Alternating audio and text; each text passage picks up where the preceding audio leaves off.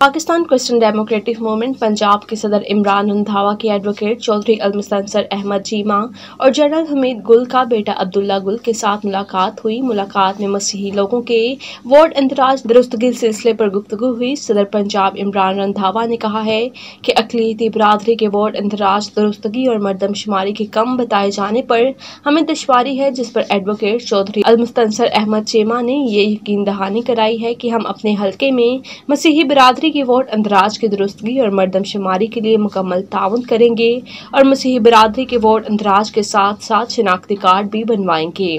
जिस पर Pakistan Christian democratic movement Punjab के सदर इमरान रंधावा ने एडवोकेट चौधरी अलमस्तनसर अहमद चेमा और जनरल हमीद गुल के बेटे अब्दुल्ला गुल का शुक्रिया अदा किया।